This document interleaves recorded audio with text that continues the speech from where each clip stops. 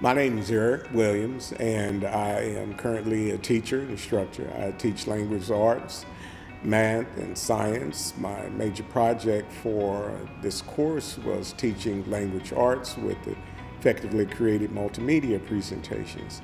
Based on the knowledge that I've gained, my employer is looking at uh, creating a student resource center where I'll be able to write uh, curriculum and do an instructional design for uh, the place that I work that will uh, be a benefit to the students and will also position me to be a teacher's teacher. Well, I'll be able to train teachers as well.